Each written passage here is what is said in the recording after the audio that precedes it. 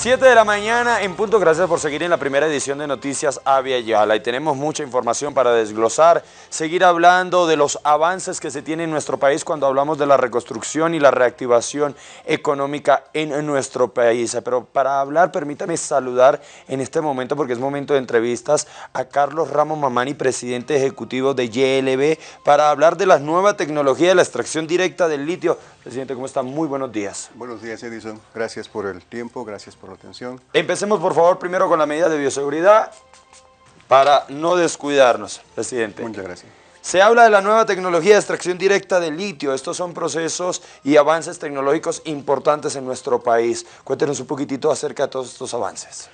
Efectivamente, YLB en, su, en el objetivo de acelerar la, la industrialización del litio, de nuestra materia prima, eh, está en la actividad de eh, eh, realizar unas pruebas piloto con empresas y con tecnologías nuevas que, son, que es la extracción directa de litio. El objetivo es acelerar la industrialización del litio usando tecnologías novedosas cuyas propietarias son empresas grandes en el mercado del litio. ¿no? Entonces, estas empresas lo que hacen es hacer las pruebas con nuestra salmuera, con nuestra química del salar, para ver los resultados de de su recuperación. Cuando hablamos de empresas, ¿de qué empresas estamos hablando y de más o menos de cuántas empresas se estaría haciendo esta alianza estratégica para poder, como bien lo mencionaba, lo que es em, extraer el litio? Son ocho empresas las que están en competencia en este momento, haciendo sus pruebas. Eh, son Citic One Cry, CAT, Bromp and CIMOC, Lilac Solutions, EnergyX, Tech Petrol, TVA Group, Fusion Enertech y Uranium One Group son empresas eh, grandes que tienen eh, manejo de litio a nivel mundial. Entonces son, son empresas de, países como China, de Rusia, eh, americanas y argentinas. Entonces eso nos da a nosotros la certeza y la, la certidumbre de que estamos trabajando con empresas que manejan el litio a nivel, a nivel mundial. ¿no? Entonces son y que dan garantía y que, y que obviamente pues ya tienen un alto recorrido ante eh, esta situación. Ahora, presidente, vamos a hablar un poco también de cifras para ya después seguir desglosando toda la información. Hasta la fecha, ¿cómo está la venta del litio y del cloruro de potasio justamente en nuestro país, en los mercados? Eh, estamos produciendo. Eh, la ILB, bueno, en esta etapa está reconstruyendo algunos temas que han sido dejados de lado las anteriores gestiones, la anterior gestión específicamente en la cual nos han dejado plantas paralizadas eh, con, cierto tipo de daño, los cuales estamos empezando a corregir y trabajando para hacer los mantenimientos e incrementar la producción. A la fecha, ILB ha facturado 157 millones de bolivianos en tema de venta de, eh, de carbonato de litio de nuestra planta piloto y en tema del fertilizante cloruro de potasio, que es el que estamos produciendo el precio del hidróxido de litio y el carbonato de litio, ¿cómo está en nuestro país? ¿Se mantiene, aumentado, ha bajado? Eh, los precios del, carbonato y del hidróxido se manejan en base al, mercado mundial. Eh, Bolivia no, define el precio del, producto, pero sí maneja las tasas o los, las cifras que se manejan en el mercado internacional. Entonces, en este momento el precio del litio está bordeando o está superando los, los 20 mil dólares por tonelada. Ahora, Estamos ya a final de año, ya estamos en la recta final, el mes de diciembre, cuáles son las proyecciones, cuál es el trabajo a realizar, cuál es eh, el plan a mediano, corto y largo plazo, qué es de ahora en adelante lo que se viene para la empresa estatal de yacimientos de litios bolivianos. Eh, los planes a, corto plazo inicialmente es, bueno, estabilizar la producción, mejorar y aumentar la, producción, eso es lo más importante eh, en este corto plazo. A mediano plazo estamos trabajando con el tema de la industrialización del litio, acelerando el, proceso de industrialización mediante eh, el seguimiento a la tecnología EDL. Vamos a, en este caso vamos a evaluar nosotros recuperación y, este, impacto ambiental. Esos son los principales parámetros que nos sirven nosotros para evaluar a estas empresas con las que vamos a trabajar. Y a, largo, a mediano plazo también estamos con el tema de la construcción, la conclusión de la construcción de nuestra planta industrial de carbonato de litio, de, con una capacidad de 15.000 toneladas. Eso estamos esperando que sea para finales de 2022 y ya podamos producir eh, litio a escala industrial y ser un participante mucho más importante en el mercado internacional. ¿Dónde se va a realizar la construcción justamente de esta planta? Estamos avanzando, ya estamos con un 65% de construcción justamente en el salar de, Uyuni, en el delta del salar de Uyuni. Eh, estamos haciendo el control y el seguimiento de esa construcción Eh, como le digo, estamos en un 65% y bueno, esperamos concluir con, esta construcción a finales de 2022. Ir avanzando de a poco más, claro, es, son los retos que vienen en el 2022. Aquí eh, en, en la mesa tenemos objetos muy interesantes. Coméntenos un poquitito para aquellos que no tenemos conocimiento, qué es lo que tenemos aquí a su izquierda y aquí a la derecha. Porque aquí, bueno, ya nos estaba comentando otras cámaras, es un eh, cargador, ¿verdad? Es un power bank, sí.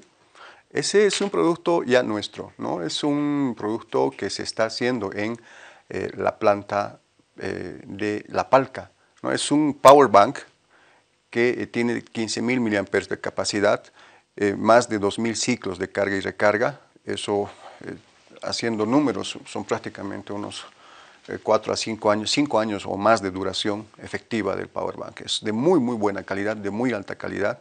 Es un producto nuestro ya, batería hecha en Bolivia.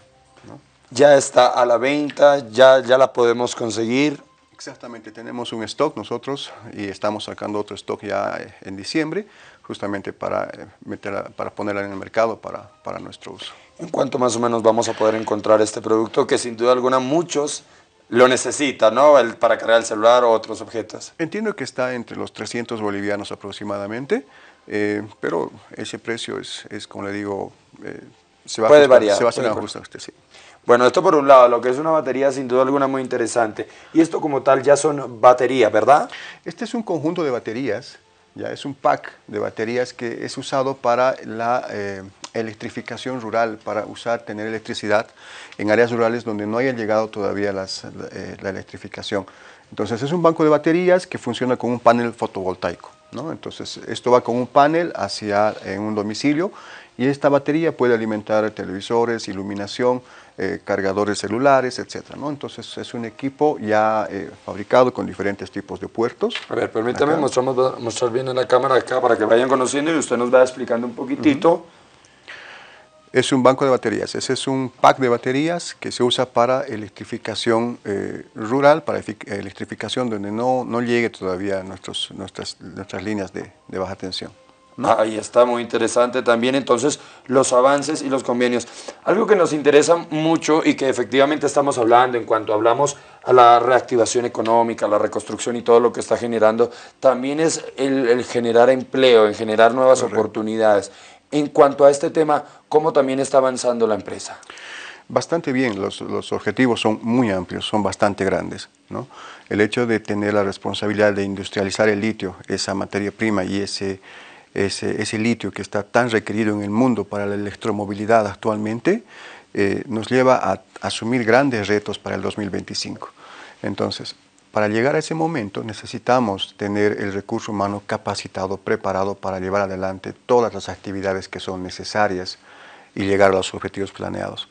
Ya la misma planta de carbonato de litio para entrar en operación va a requerir personal, ¿no? va, a requerir recurso humano capacitado.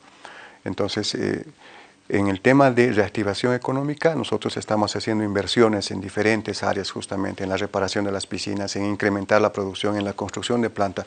Con EDL estamos empezando a entrar. En EDL y LB no ha gastado un solo boliviano porque este, este convenio y todos los costos de, de pruebas la están asumiendo las empresas a costo suyo.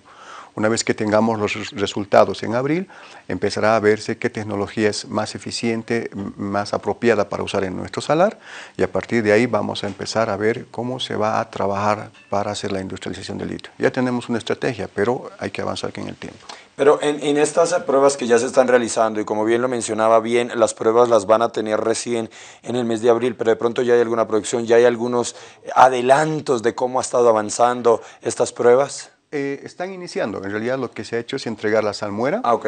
le hemos entregado la salmuera a ellos eh, y a ellos están haciendo las pruebas en sus laboratorios, en sus plantas pilotos para ver cómo se comporta su tecnología, la tecnología propia de ellos para, em, para en recuperación y en tema de eh, medio ambiente. ¿no? Bueno, ya para ir, para ir finalizando todo eh, el tema importante que estamos hablando, las proyecciones que se vienen para el 2022. Cuando hablamos de las ventas que se han generado hasta el momento y las proyecciones de las ventas que se generarían en el, 2000, en el 2022, ¿cuál sería esa relación, más o menos? Es, es, grande la relación. En realidad nosotros a la fecha lo que estamos produciendo en carbonato de litio es con la planta piloto. Y la proyección, actualmente esa planta piloto produce 600, 700 toneladas anuales. La proyección de, eh, de la planta industrial son 15 mil toneladas anuales. Entonces estamos hablando de casi 20 veces lo que, lo que estamos actualmente produciendo. ¿no? O sea, se está trabajando fuerte y bueno, y dejarle, desearle los mejores deseos al presidente porque realmente lo que queremos es volver a la normalidad, generar empleo, reactivar la economía y generar también estabilidad en el país que ha sido muy azotado en el 2019 por lo que ha sido la pandemia, la crisis económica que también se ha vivido y obviamente es lo que se necesita lograr. Efectivamente, Edison, gracias por la confianza. Estamos trabajando, estamos trabajando muy duro para eh, reactivar la economía, para lograr esos niveles de, de, producción que queremos, para colmar las expectativas de lo que, que se tiene en función al litio. ¿no? Entonces, todo el personal de YLB, todos los trabajadores están poniendo su máximo esfuerzo para lograr esos objetivos, créame. Ahí está, espero tenerlo en una próxima oportunidad para seguir hablando de los avances. Con mucho gusto. Y conocer por qué no la empresa y las pruebas que se están realizando. Efectivamente, eso va a ser, hay que hacer conocer las pruebas, hay que ver, hay que transparentar. Siempre hemos trabajado de manera transparente y queremos mantenerlo de esa manera. Y así es como vamos a seguir avanzando. Agradecemos a Carlos Ramón Mamani, presidente ejecutivo de YLB, Ah, con todos estos avances que se ha tenido, con las pruebas pilotos que ya se van a empezar a realizar y que se van a tener los resultados en el mes de abril para seguir trabajando con todas las proyecciones. 7 de la mañana con 11 minutos. Hacemos una breve pausa aquí en la primera edición de Noticias Avia Yala. Ya regresamos.